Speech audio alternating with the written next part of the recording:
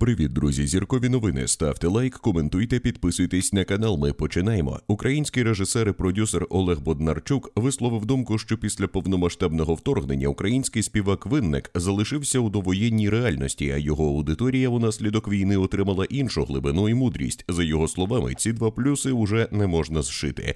До розгортання повномасштабної війни співак Олег Винник користувався популярністю в Україні. У інтерв'ю продюсер Горбенко розповідав, що за участь у рекламних кампаніях компаніях артист не приймав гонорар менше 100 тисяч доларів. Також він установив найвищу вартість виступу на новорічних корпоративах 50 тисяч євро за 45-хвилинний концерт. Співак також має велику онлайн-аудиторію з понад 2,5 мільйона підписників. А ви що думаєте з цього приводу? Ставте лайк та пишіть у коментарях. Після початку повномасштабного вторгнення винник залишив Україну та виїхав до Німеччини, а його публічний образ втратив актуальність. Інтерв'ю артиста єдине, яке було дане Україні українським журналістам відбулося в Берліні. Я вважаю, що аудиторія артиста була поверхнево знайома з ним, висловив думку Боднарчук. Останній, здається, єдине інтерв'ю інтенсивно представило цю людину глядачам. Я для себе зрозумів, що в нього було вдало обраний продюсер, через якого не відбувалося жодних інтерв'ю з Олегом, і міф про його розсудливість, доброту, щедрість, ніжність та силу як чоловіка існував виключно в його піснях.